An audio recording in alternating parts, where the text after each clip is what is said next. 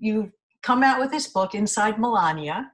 Yes, what I know about Melania Trump by impersonating her. Yes. So, and I actually watched your character video, which I videos, which I thought were hysterical. I loved all of the different voices and accents and wardrobe. I love it.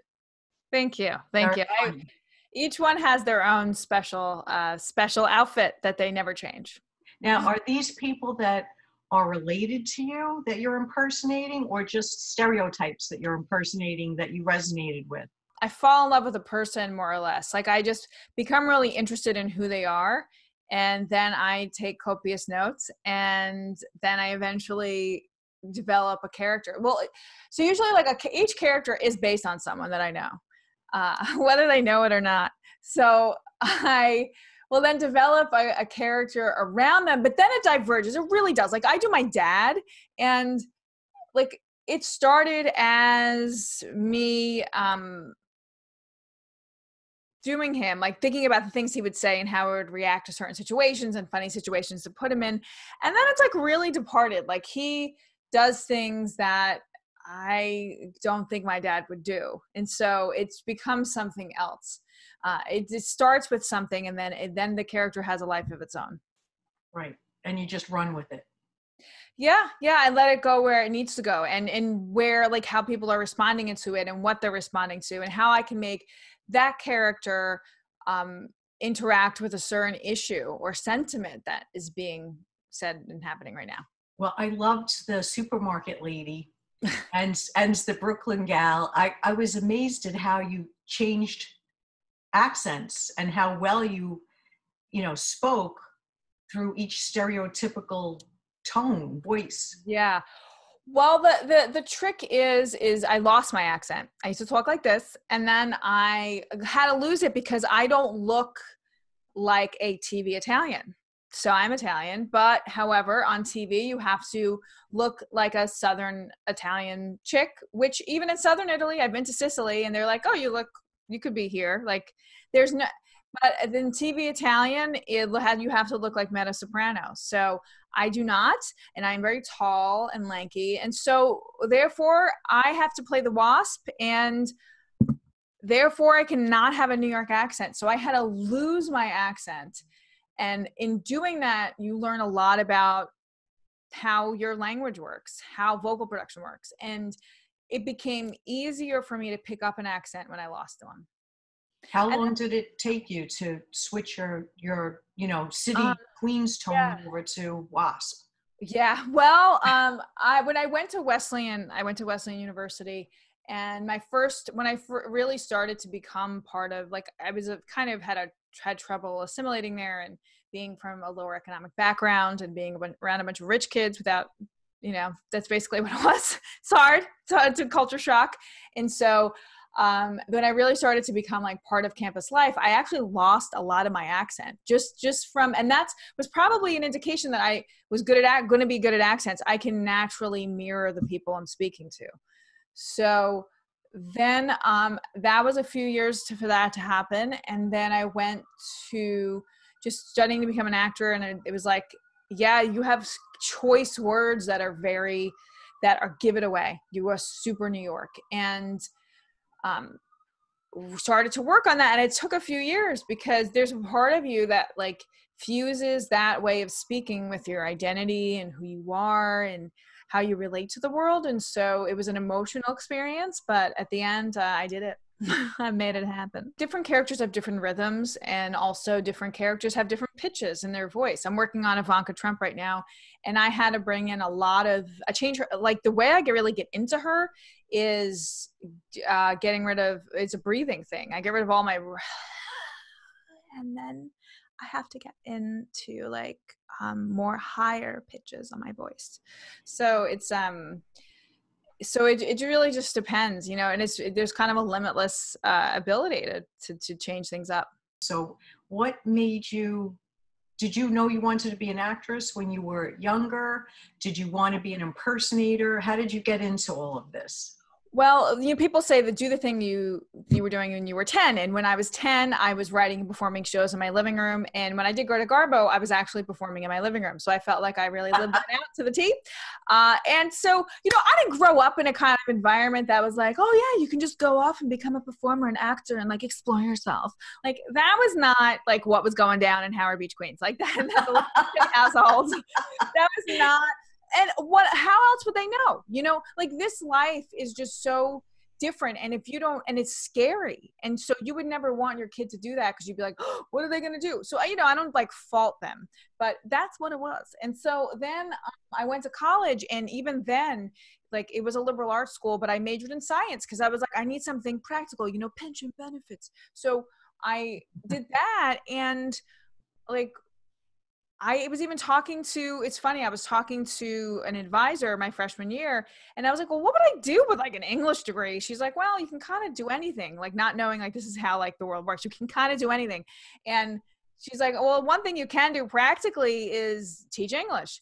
So what did I end up doing with the science degree? I ended up teaching science. So the thing that like I didn't want to do. So I ended up teaching science and and then um i was like i just you know i kept like running into performing like i keep, i kept running into it. And then i was in india uh, for a fellowship the william j. Clinton fellowship for service in india. And then out there i was like if i don't do what i love to do then like like i'm wasting my time on earth. And so i came back to new york and hit the ground running and did it. But it just took so much like me running into it to for me to finally like listen to the call i guess you'd say without being cheesy. What's your favorite character to to portray? I love being mary poppins because mary poppins has is so grounded. She and she can get mad at someone she can like correct someone and then she comes back to neutral. She just is so balanced in herself. It's it's so wonderful. How do you decide which female icon to impersonate? What happened? Like, I didn't really choose it on purpose. It was only like after that someone was like, wow, you tend to pick all of like these mysterious, misunderstood women in history. And I was like, oh yeah, that's that's what's happening, isn't it? And I think what happens is I see part of my eyes as someone, and now I'm thinking about it like I'm a woman in entertainment who's outside the box. I am misunderstood. I have always been misunderstood. Like I grew up looking like like I swift stepped off a Nordic Viking ship in an Italian American neighborhood and family. Like I've always felt like I'm outside. I went to Wesleyan, and then I was like this Queens speaking woman, and then I'm in uh, with a bunch of waspy nerdy kids. So like this is this is like my life. I've always been mysterious and different. And I think I just resonate with each of them at, at certain points and go forward with that. So, and do you do you try to find like a comedic value in in the women that you choose? Always, always. There's always something about them which I think is hysterical. Like it's just so so funny. I mean, Greta Garbo, I I really thought it was funny how she like was this mysterious she played with the idea of mysteriousness. Mm-hmm. and she actively knew she was mysterious and she like lived it up.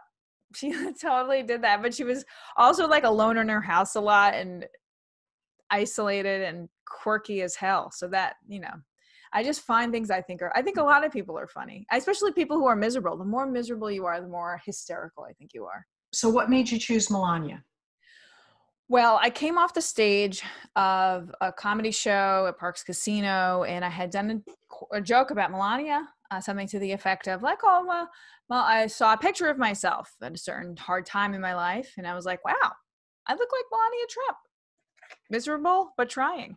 So I, he came off and he was like, "You got to do a Melania Trump impression," and I was like, "Dude, I don't." I do original characters but I tried it. I went, I went and I did a few videos. They did really well. So then I went to Pride as Melania. That went well. Then someone asked me to do stand up at a Halloween show, and I did that, and it went really well. And I was like, now I got to start doing stand up as Melania.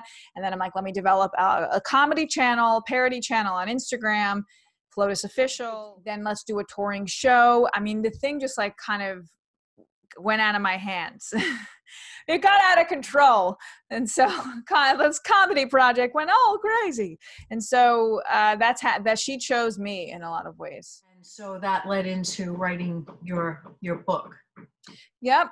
Yep. And so then um, a few people suggested, like, why don't you write a book about this? Because one question everyone asks you is, what do you know about Melania Trump from impersonating her? Because my work usually is eh, in this border between impression and impersonation, where, and I don't really make these distinctions, but some people do. Impression is just someone like it's more of an angle a more hard hitting angle where an impersonation is more of a an embodiment of a character and a copying of without a point of view. So um my i definitely have a point of view on my characters for sure but i do try to inhabit them so in that process i do get to know you get to know your character and i'm sure as you know as an actor like you you learn things about people just by inhabiting and living in their skin so, what was your character development uh, for Melania? What did you What did you you know choose? Yeah. I watched your video. I saw your wardrobe. I yes. listened to your voice, the tone, the yep. choices that you made. What I started with was um, well, the voice is something for me that was important and I replayed the tapes over and over again. And then also for me, I'm a little bit of an outside in. I started going over like how she walked and I, I met with a movement person named Barbara Mahler and we worked on how just in that short time we worked together she was I was able to nail how she walks and that informed the psychology of who she was. I read stuff on her that was really helpful and I have a Google alert. I know everything going on with her at all times. And so um, that's that's also really helpful. Rumors on the street people start telling me stuff about her because they know I'm doing this. So I get to hear all sorts of gossips and start this starts to like put a picture together of who this person uh, really is. And by the way, rumors on the street come from any character I do. People hear that I'm doing a certain person and then all of a sudden like even with Greta Garbo, you're meeting with descendants of famous people and so you'd be surprised how small the world is. So then this all started, and then just started, started thinking about important questions that we all answer as actors about our characters. But I feel like I had such like a, a base to, inform that about like who she is and what she wants. I use a lot of lucid body work, which is uh, if you're not into new age, close your ears. We use sh- chakras to it's using chakra and are thinking about which one is prominent and it's just basically a key a way for you to shorthand psychology of a person. Like their sexual center versus their nurturing center versus their ego versus their ability to speak and be heard. So uh, thinking about that was really helpful well. so did you what are you saying? You channeled through your chakras or you opened a or you focused on a specific chakra well, you think about it's like um, Lucid Body by Fay Simpson is this technique in which you think about like we all have chakras that we and we have certain ones that are imploded or exploded uh, or blocked uh, or balanced. And so you think about what everyone has a your unique imprint, and then you have shadow, the shadow part of that. So you think about what that person's unique imprint is. And it's amazing because what, what I find is that like there's certain people say I really look like Melania and I don't. I do not look like her. But I feel like it's almost like a magic trick, like the, when I do Lucid Body, because I look. In fact, the publisher, when he saw my book, he was like, "You can't use a picture of Melania." I was like, "That's that's not Melania. that's me." Yeah, let's talk about the book. Well, it's it's ba- it's a collection of humorous rants, me like telling you this is how Melania walks, and this is what it means about her, and or this is answering questions about like was she a hooker or what kind of mom is she, things like that, and then it's also humor pieces that take off that. Like I have Melania's first press conference. I did a take a, like a fake news article about that. I do like a th- like Melania's thoughts as she stares at Donald going away on his helicopter um, a marketing plan for her plan to like nab a billionaire. She writes a marketing plan. So things like that. Um, just taking off. I remade all of the Grimm's fairy tales for Melania. So like, like Rich Scheidner said, uh, who um, reviewed the book, gave a testimonial for it. He said, "You use every device in the English language to write this book," which I did. a lot of them. So.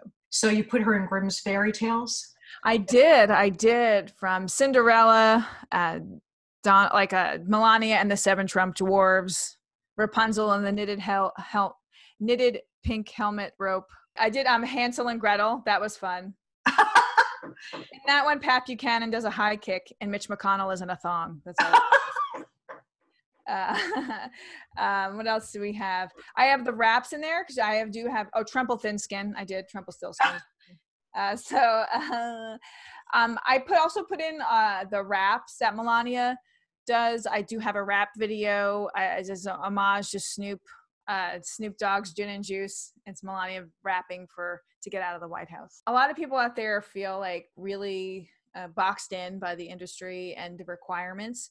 And I guess my advice from where I am right now, and this might change tomorrow. Like I might have a different perspective tomorrow. Things are constantly changing, and of course, your experience in the industry is very much uh, colors the way you see things. So right now what i what i have seen over the years is just like they listen they want stereotypes a lot of the time more time more of the time than you'll ever be comfortable with. And they want to put people in boxes and part of that is the economics of it and the scale of it and it's things are so happening so fast and they just want to be able to understand people easily. So you got to like make yourself into that product for them to consume. Like it's as simple as that. And then on your own time you go and you do all the stuff you really wanted to do. And I think that's really important because um, maybe some people find like total creative satisfaction off do, being the peg in the hole. Um, I do not. I find it fun, and it's kind of fun to be on set, someone else's set for a day. Uh, but I also like must tell my own story because my complete story, like who completely who I am, is not represented on any screen that I've seen, and so I have to make my own story in order to tell that tell really give the world what I feel like I'm capable of.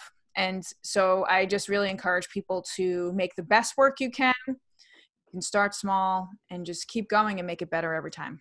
So people know where to find me. You can go to laurenlogi.com and there you have access to all of my videos, all of my characters. You get to know a little bit about me, and you can also there join my tribe of fellow arty weirdos. I, I saw join my tribe and I I signed up Yay! And you're on Facebook and Instagram as well? Yes, best place. I'm on at Lauren Logi. I keep it simple. It's the website, it's the social media handle all over the place. L O G I, right? Yep. On YouTube, Twitter, Instagram, TikTok, all of the things. Good for you.